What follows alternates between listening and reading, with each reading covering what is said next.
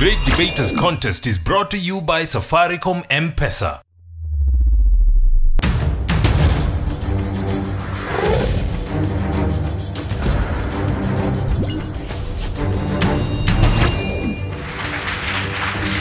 We are loud and proud from Nakuru region, and I am Austin Nyambok. And I am Mariam Bashar. Today on the show, we're dealing with the sensitive topic of parenting.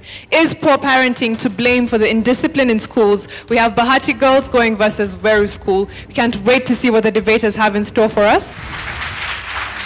Proposal number one, you have three minutes. Parents are the readers of the homes. This is you find that parents are not taking the responsibilities of children. They take the children in school, and then when they come back at home, they find no one at home. As in, the children find no one at home, and then they the children try to do something at home, but when because the parents are not at home, they are not there to find on their way. And then take for example that a parent pampers her child, either a boy or a girl. The boy when the the parents like the boy to when in future to have a good life, but this leads to when pampering the child the girl or the boy doesn't find the way out. Reason being the parents are there not on their sides, but they are there doing their works. They are not concentrating on their children. And these children emulate whatever the parents teach them at home or what they see at home and take them the, the things to the schools. And then you find that they are always on punishment. This is, the teachers take this as an indisciplined case. Thank you. Opposition, you have three minutes for your opening remarks. First and foremost, let us understand the motion. What is poor parenting? Poor parenting is the inability to support and promote the emotional, physical, social, and intellectual development of a child from infancy to adulthood. And what is indiscipline? Indiscipline is the lack of control of behavior of a particular people. The motion is basically telling us that the inadequate care given to the children in our schools is responsible for the indisciplines in my school and in your school. Why are we focusing on only poor parenting and yet we have other factors? Why should you focus on the tip of the iceberg and not the other factors? Allow me to introduce you to the iceberg and not just the tip of the iceberg. There were three monkeys on a tree. The first monkey got sick, died, and fell off on, a, on the tree. The second monkey also got sick. It died and also fell off the tree. The third monkey fell off the tree. It did not get sick. And it did not get fall off the tree because it was sick. It just decided all the others are falling, so I am going to also fall. And it died also. This is the problem our schools are facing. Peer pressure. The third monkey was just following what the others were doing. It was tired of staying alone, so it had to follow what the others had done. So it also fell off. This is exactly the problem that is eating us. We take children to our schools. They go to schools. They meet other, other friends. And maybe we have, maybe we have a group in a school. And a, a student or a pupil gets there and wants to fit in the group. Yeah? I want to be in this group where I can put on good hairstyles. I get up from one in the queue. I just push the from one out. That is a form of indiscipline. These, there are these groups where they want to fit in, they can talk back at teachers. Talking back at a teacher is a form of indiscipline.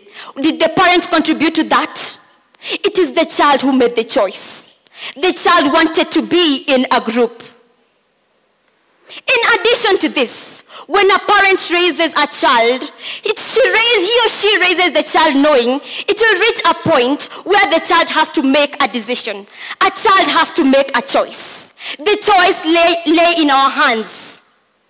It's your decision to choose. You want good or you want bad. You want this or you don't want this. The decision lay in your hands. Do I really want to get into this group? No. So, let us sit there and know focusing on poor parenting is equivalent to being penny wise and pound foolish. Thank you. Second proposer, you have three minutes.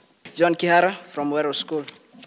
Ladies and gentlemen, I stand here with the strongest conviction that our parents indeed are to blame for the indisciplines cases we are having in our schools. I want us to look at it in this angle that when a child is born, he or she is born with a mind that is ready to absorb what is in his or her surrounding. And I don't know how, how you can determine the fruits of a tree if you don't know the seed you're planting.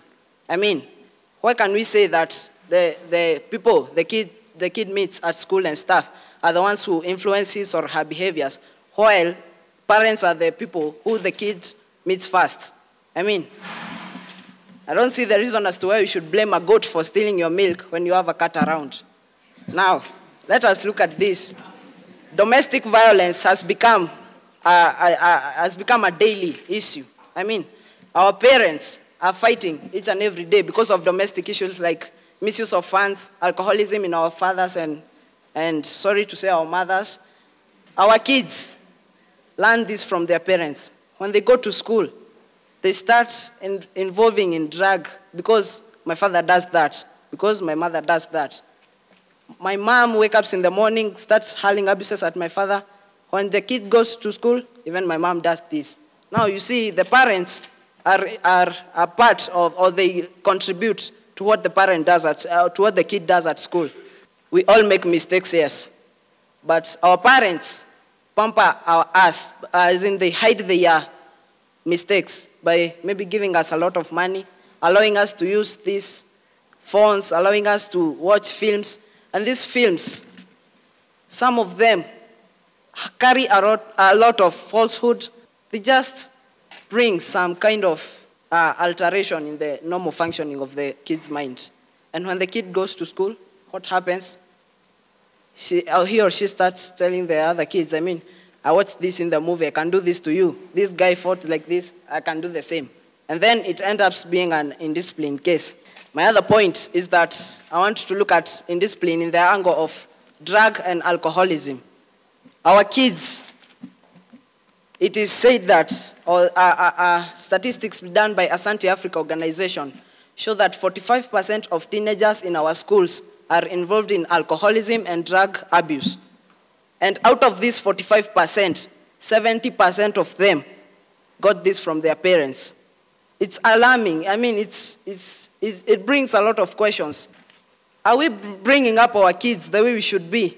I mean, there's something that has gone wrong somewhere.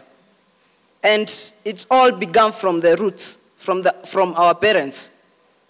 Now, I, I think we should really be asking these questions to our parents. And I don't see the reason as to why my fellow, my fellow opposers here want to bring us issues of peers and peer influence and freedom at schools. Only have the roots down there that are contaminated and, and affect the growing of the tree. Thank you. Opposition will now hear your rebuttal. You also have three minutes. I am indebted to my father for living, but I am indebted to my teacher for living well. A quote by Alexander the Great. And I, Brenda Yabinge from the Bahati Girls, I'm here to tell you why this statement is very right. First, I rebutted from what, for what my opponents have said. My opponents have said that our parents pamper us. Well, they've not told us what our, our parents are pampering us with. I like the way they use pamper. Well, to pamper is to provide for someone such that that person does not need to exert him or herself looking for the thing that you're providing. What if I am pampering my child with morals? When you tell me poor parenting is a factor, I agree because we've said poor parenting is the tip of the iceberg. The tip of the iceberg is also part of the iceberg. No one has said poor parenting is not a factor. So whatever you're saying, you're agreeing with us. And then, when you tell us our parents give us phones and iPods to distract us when we've done bad behavior or anything wrong, are you telling us that our parents are so unreasonable that they will give us a reward for a wrong done? When you do wrong, are you given an iPod? Let me address the big cheese in this, the big cheese in this matter. The big reasons as to why we have indiscipline in schools. And my, I'm addressing the teachers. We have teachers whom we see daily when we're in school, when we're learning. We spend three months with the teachers, one month with the, parents, when we're in boarding schools. And then when we're in day schools, we'll spend eight hours during the day with the teacher, two hours in the evening with your parent before you retire to bed. Now, these teachers are the ones in the best place to be our role models because we spend most of our time with them. What happens when your teacher is not the right role model for you? What happens? Like when you're told not to listen to readings per se, what happens if your teacher actually has a redeem as a ringtone of the phone? I was told not to listen to redeems, and when my teacher is punishing me, his phone rings, a redeem. I'll be wondering what what's happening. And then, when teachers practice favoritism, the students whom they favor will think that that is an opportunity for them, that they can do anything without consequences. And to the students who are not favored, they will see it as an opportunity to rebel because the teacher is not favoring, is favoring one side. They'll see it as unfairness. And this is um, according to a study done by Mohammed Gadmi, and it was published on the 25th of August 2013. And then we have influence from the school administration. Wow. When the government tells you, do not extend in school, and your own administration is telling you, come with home clothes, and then when you get to school, you'll change so that you'll not be noticed. Aren't they teaching you how to rebel against the government? Now, if they've taught you how to rebel against the government, when you rebel against the school administration, are they going to complain? There are other factors which bring about indiscipline. Poor parenting is a very small fraction, and blaming it is quite wrong, I believe. Nimechoka kuibiwa pesa zangu, nimechoka kupoteza muda wangu. pesa utalipia bei ya stima waweza tuma pesa hata ukiwa wima Kweli. masau ni haraka tena na mapema Ah. una line safi, basi fungua mpesa Saluti tu M-Pesa. thank you to Safaricom the better option Take part in the M Challenge by sending your short song, rap, or poem about Safaricom Mpesa Pesa on WhatsApp, and you could win 1,000 shillings in Safaricom airtime.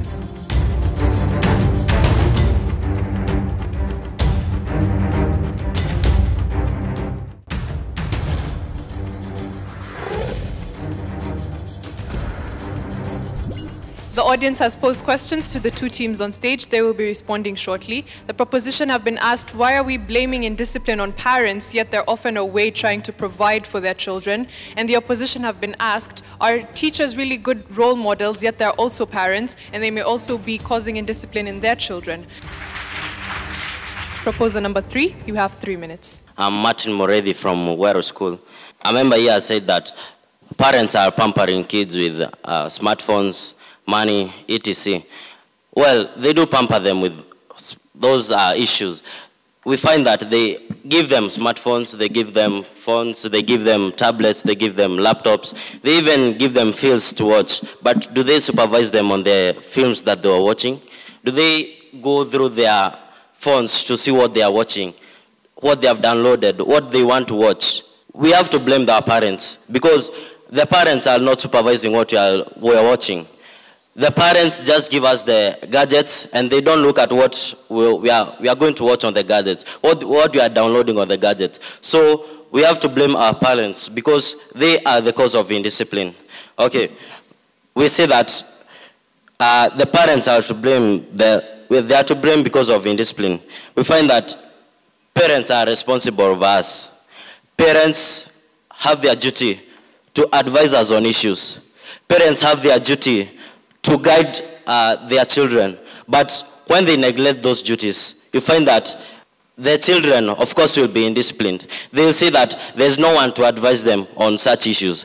They find that uh, what they are doing is already correct. So they have no other choice but to go on with what they are doing. Thus, cases of indiscipline crop up in school. Okay, I would like to also say that poor parenting involves disciplining their children. You find that modern parents, they say that once uh, you, you go out there, you have come out of uh, their, their handling, you find that the, the parent neglects the, the children. So the child sees that everything he does is correct. So uh, you see that the parent has neglected his or her own duty. So the, the, the children, the students, they have to go in, in discipline cases. We find that uh, parents who do not care about their children are also causes of indiscipline.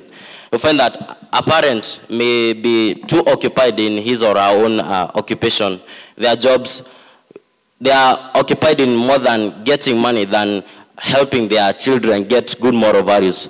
You see that the, the children now will see that the parent does not care about anything else. They just care about themselves. So anything that uh, the, the children, the child does, it will be correct according to her, his or her own understanding. So you find that the, the child will end up in, in discipline.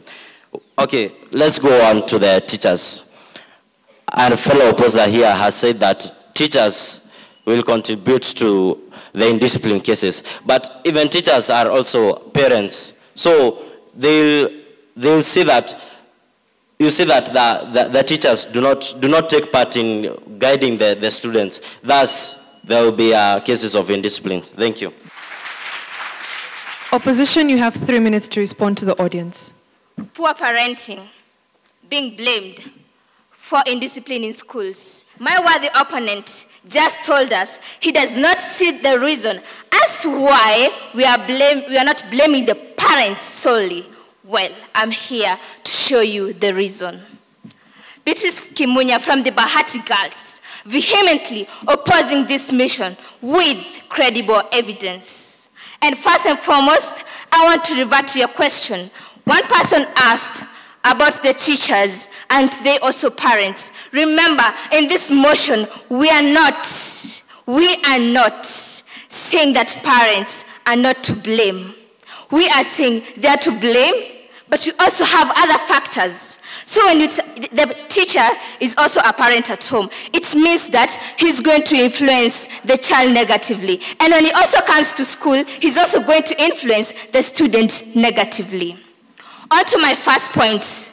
The Constitution. We all know about the children's rights in the Constitution. In the Children's Act, first of all, it states that a child shall not be subjected to corporal punishment. By the same token, the child shall not be detained except as a measure of last resort. Think about that as a measure of last resort.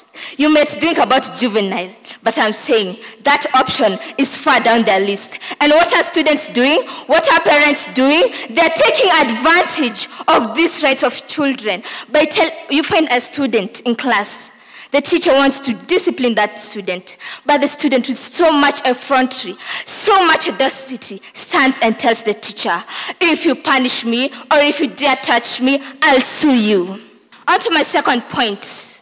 The regimentation of our school system. Can you think about this? The rules that are being enforced in our schools. Disparate times call for desperate measures, and we must not remain complacent to the fact that some of the rules that are there in school force students to go against their morals. For example, like my counterpart said, the tuition section. You find that after three months of being in school, you're still being kept in school for an extra two weeks. So that maybe that factor might trigger the students to revolt. Remember, enforced legislation might actually lead to revolts. To my third point, the counseling sector in our school. It is true. They have been neglected. For instance, they do not have facilities such as the offices to conduct those guidance and counseling sessions. The facilities such as computers, that is what is lacking in our schools. And I'm here to say that blaming, putting the blame on the parents solely, simply transfers the responsibility from the person who makes that choice. Let us say this, parents teach to teach their children discipline, teachers to train them to be disciplined, and the individual to learn how to be disciplined. Thank you. We'll now hear closing remarks. Proposers, you have one minute. Thank you. Martin Morethi again. So I would like to uh, close the motion by saying that parents are not only those who bore us, but also those who take part in our upbringing. So uh, whether those who bore us, those who take part in our upbringing, that is the teachers, the society out there, we all have to blame in the indiscipline cases because they have to turn a blind eye where a person sees indiscipline. So uh, we support the motion saying that parents are to blame for the indiscipline cases in schools. Thank you.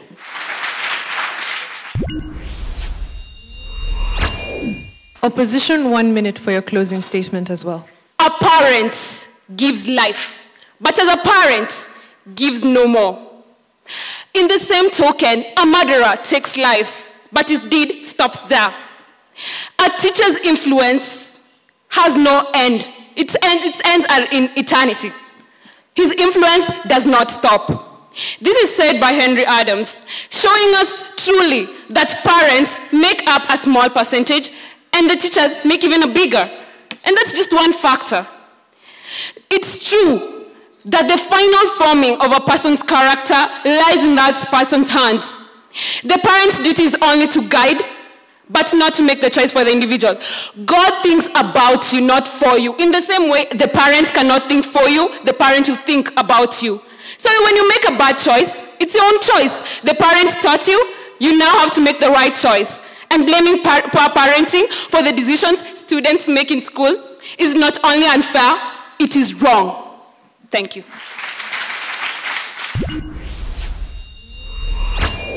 Eunice, you know, when you start off as the first speaker, you set the pace for the rest. Um, so you, we didn't hear the definition of terms in your in the motion when you started off.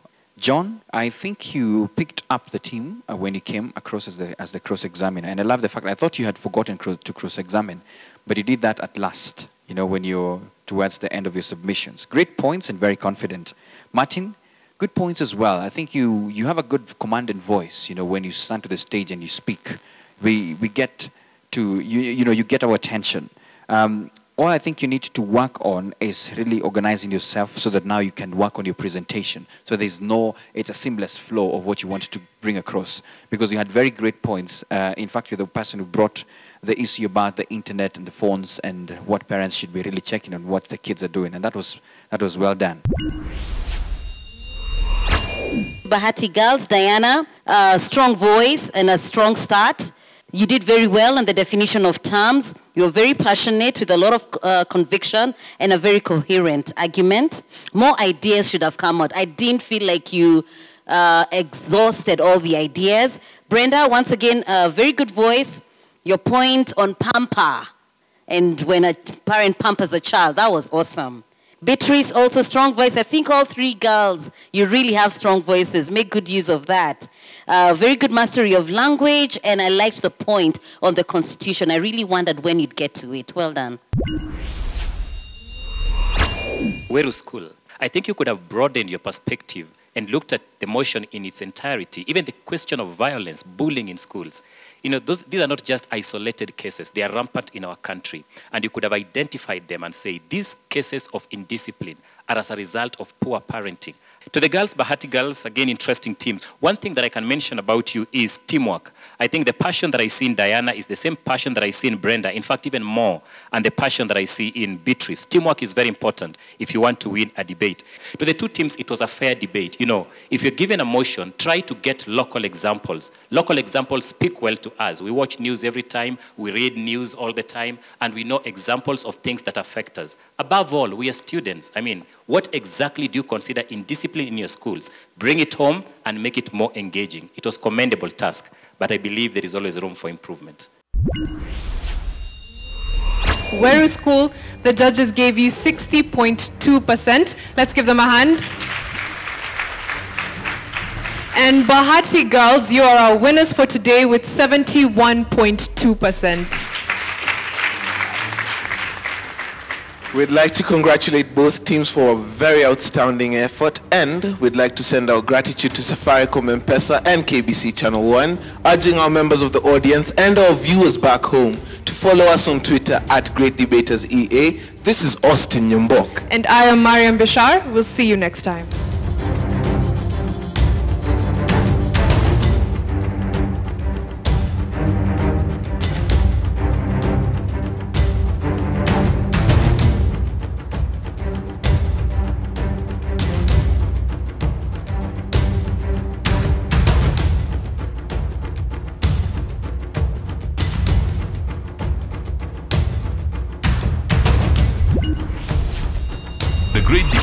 Contest was brought to you by Safaricom M-Pesa.